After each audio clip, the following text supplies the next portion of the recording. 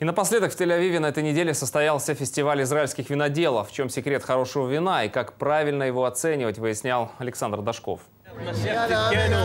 Винодельня, которую представляет Давид, существует уже более ста лет. Накопленный опыт и особые условия выращивания винограда в Иудейских горах позволяют владельцу не только продавать вино в Израиле, но и экспортировать его в Россию и США. У нас удивительный климат. Наши виноградники расположены в горах. Зимой выпадает снег, виноград созревает медленнее, что придает вину более богатый цвет и особую сладость. На фестивале в Тель-Авиве широко известных брендов не найти. Вино здесь только от небольших частных виноделин.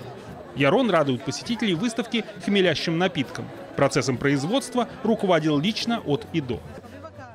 У хозяев небольших виноделин есть преимущество. Мы можем проверять каждую бутылку и бочку, так легче следить за качеством. В наш продукт мы вкладываем душу. Для производства вина в Израиле есть все необходимые условия и различные виды почвы, и обилие солнца, и перепады температур. Не повезло лишь с соседями.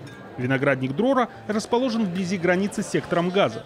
Год назад ракетные обстрелы боевиками Хамаса израильской территории поставили под вопрос и сбор урожая, и работу на винодельне. Да, у нас были проблемы. К нам никто не приезжал, чтобы купить вино. Но после окончания операции в Газе от покупателей не было отбоя. Народ Израиля нас не оставил. Слава Всевышнему, он дает нам пропитание. При этом, несмотря на давние традиции и профессионализм виноделов, потребление напитка из виноградной лозы в Израиле менее 8 литров в год на душу населения. Это в несколько раз меньше, чем в Европе и США.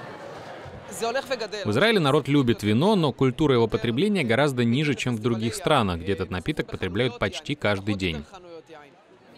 Впрочем, в последние годы ситуация меняется в лучшую для виноделов сторону. По словам присутствующих на фестивале, одна из причин тому – репатриация из стран бывшего СССР. Многие русскоязычные граждане сохраняют страсть к потреблению алкоголя и на Ближнем Востоке.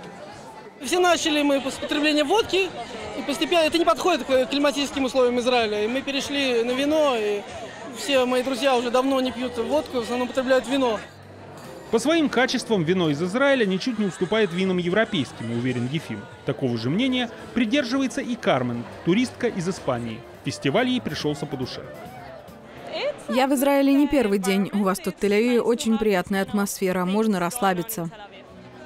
Расслабиться посетителям помогает большой выбор вин на любой вкус. Терпкое каберне и бодрящий рислинг, нежное мерло и ароматный шираз.